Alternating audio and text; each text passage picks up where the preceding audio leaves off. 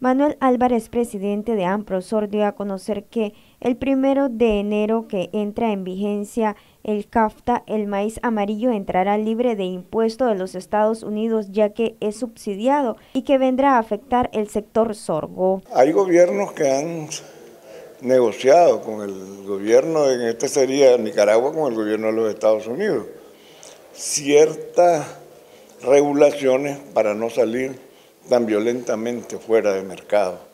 Claro, las avícolas, por eso las avícolas no quisieron comprar, compraron toda la producción del año pasado y están negociando esto ahorita con los productores. Pero ¿cuánto te quieren pagar?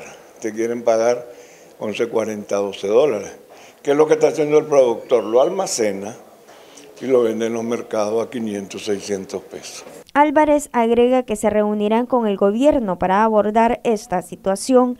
Vamos a ver qué se puede hacer con el gobierno para que pueda hacer algún tipo, como hicieron los mexicanos, que poco a poco fueron saliendo, pero no así tan bruscamente. El representante de Amprosor dijo que se han sembrado 7.000 manzanas de sorgo.